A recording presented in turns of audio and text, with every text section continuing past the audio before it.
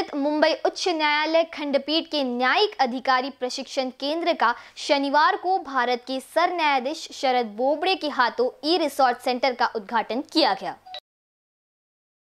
इस अवसर पर सुप्रीम कोर्ट ऑफ़ इंडिया के न्यायाधीश V R Gavai, Mumbai high court के न्यायाधीश R C Chauhan e committee supreme court of India के चेयरपर्सन न्यायाधीश डी वाई चंद्रचूड़, न्यायाधीश एस बी शुक्रे, न्यायाधीश ए एस चांदुरकर न्यायाधीश मनीष पितले, न्यायाधीश अनिल किलोर एवं अन्य अतिथि उपस्थित थे। न्यायिक अधिकारी प्रशिक्षण केंद्र महज एक महीने में बनकर तैयार किया गया, जहाँ पर सभी कानूनी सुविधाएँ उपलब्ध कराई गई है। उद्घाटन के बाद सभी मान्यवरों ने इस केंद्र का निरीक्षण कर अपने विचार व्यक्त किए।